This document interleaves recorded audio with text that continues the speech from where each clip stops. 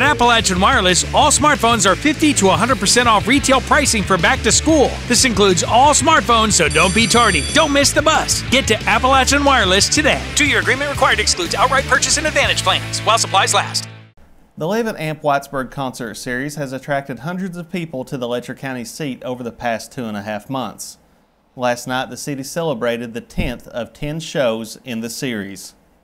Just as they had for the last nine weeks, scores of people set up lawn chairs and spread out blankets for the Levitt Amp Whitesburg concert series last night. Former Sundy Best frontman Nicholas Jamerson was the headliner for the final concert in the series. Rain earlier in the day may have kept the crowd more modest than what it could have been, but organizers were very pleased with the turnout, not only for this week's finale, but for the series as a whole. It is a bittersweet evening. Uh, we've we've had ten great weeks of 10 great shows.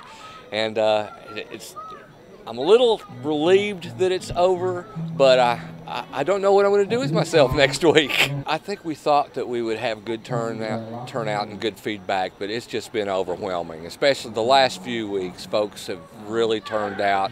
Folks have uh, said wonderful things to us. I mean, they seem to really appreciate what's going on, and uh, it's very inspiring from our point of view. It's been, it's been wonderful to hear.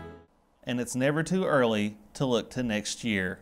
We'll be starting in the next two weeks to start to put the grant together, uh, the application together for a new grant. We have a uh, conference call next week with the uh, funders uh, to talk about what we've done and you know what we want to do and everything for next year. So uh, full speed ahead. Uh, the city is behind it. The Cowan Community Center wants to do it again. Uh, the Mountain Heritage Festival seems to want to do it again. So I think we're I think we're going to be full speed ahead and try it again.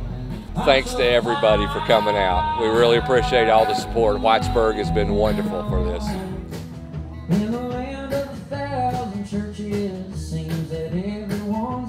In Whitesburg, Chris Anderson, EKB News.